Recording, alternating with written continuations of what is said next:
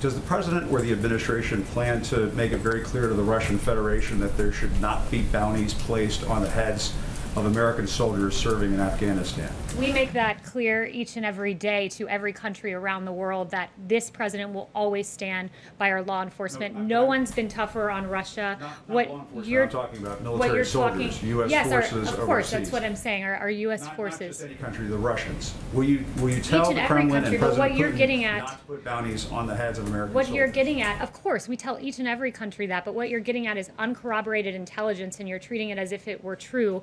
Uh, to this day, there are varying views on the Russian bounty intelligence. Um, DOD, NSC, and the ODNI all pointing that out. You know, I'm not going to answer a question based on unverified intelligence, but rest assured, every country in this world is put on notice that bounties on the heads of U.S. troops is unacceptable, and this president will stand for U.S. troops Including the Kremlin. at home and abroad.